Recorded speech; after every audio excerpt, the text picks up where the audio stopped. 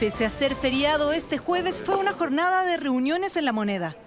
El comité político, junto con la ministra del Trabajo y el ministro de Hacienda, se reunieron por separado tanto con oposición como con el oficialismo. Una buena reunión, una reunión franca. Fueron cerca de dos horas de conversación con los partidos de oposición, donde esta vez se sumó el Partido Socialista y algunos del Frente Amplio. Instancia en la que las novedades estuvieron en torno a la reforma tributaria y a su principal obstáculo.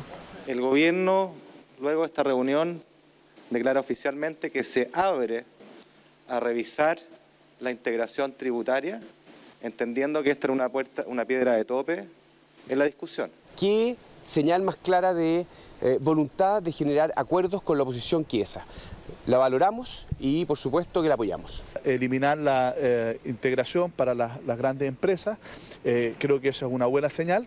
Sin embargo, la discusión sigue presente respecto a las dudas sobre si se eliminará definitivamente la integración. Revisar implica ir a una solución distinta de la integración como fue planteada por el gobierno. El gobierno nos está diciendo que revisará la reintegración tributaria.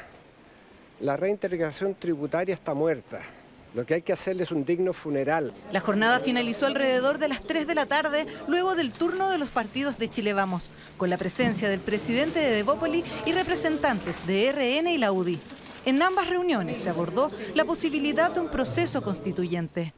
Y el gobierno, como dijo el presidente, no se cierra ninguna opción, pero nos parece importante, en primer lugar, poder desarrollar este proceso de diálogo amplio y participativo para poder recoger las prioridades de la gente. Y respecto de aquello, lamentablemente todavía no vemos voluntad del gobierno en avanzar. Yo creo que si nos, nos, nos metemos en un debate político de esta naturaleza, la ciudadanía va a mirar atónito de que no estemos preocupados de lo que son sus problemas reales y estemos en una discusión política en que no va a ser conducente. Otro eje fue la conversación sobre la reforma previsional que avanzó hacia el fortalecimiento de un mecanismo solidario.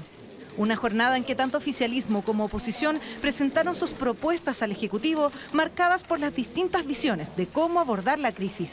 Estamos abiertos a los cambios en todas las áreas, pero tenemos conciencia de que hay una prioridad que es la agenda social. El gobierno insiste en su agenda original, sin cambios realmente sustantivos. Un trabajo que recién comienza y que el Ejecutivo planea repetir con reuniones conjuntas entre todos los partidos y los ministerios de Hacienda y de Trabajo para determinar soluciones a esta crisis social.